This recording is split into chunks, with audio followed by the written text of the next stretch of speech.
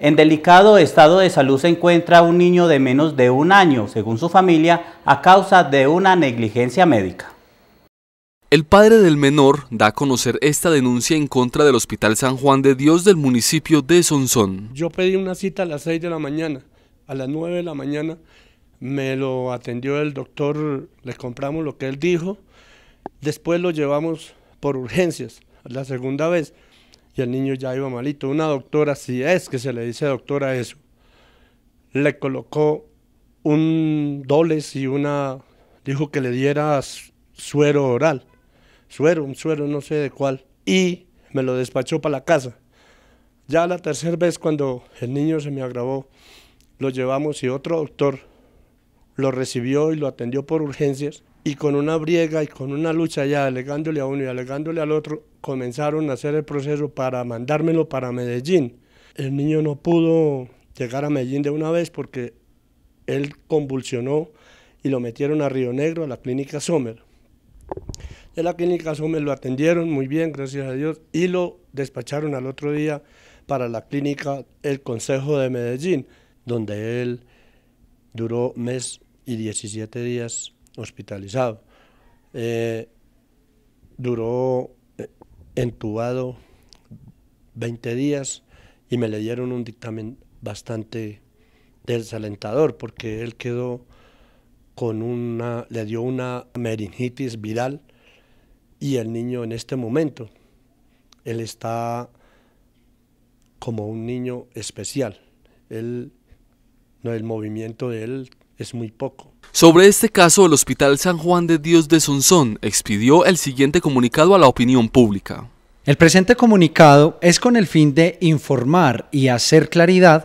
a la familia del niño Jerónimo Ariza Gómez y a la comunidad sonsoneña sobre la enfermedad y situaciones sobrevinientes que han ocurrido en relación con la atención brindada por la institución ese Hospital San Juan de Dios de Sonsón al citado paciente.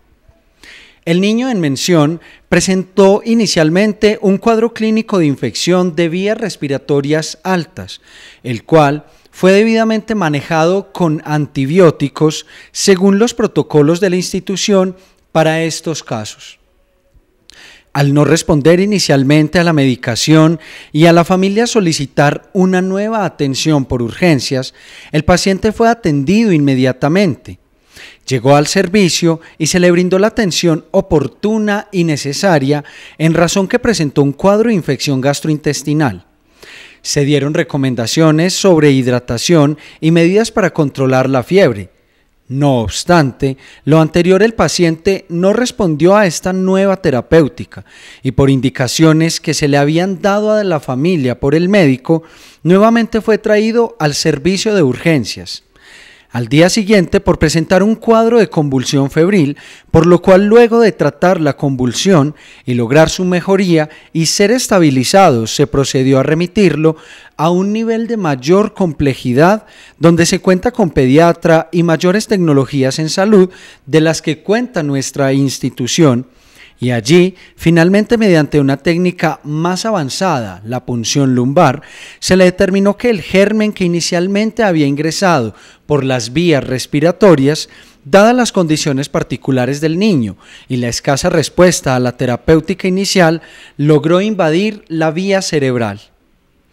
Es de aclarar que el acto médico, por ser de medios y no de resultados, es un acto complejo que involucra no solamente la atención del personal médico y asistencial, sino también las condiciones propias del paciente, el ambiente donde vive, el clima, su entorno familiar y las características de agresividad y resistencia a los antibióticos de los gérmenes,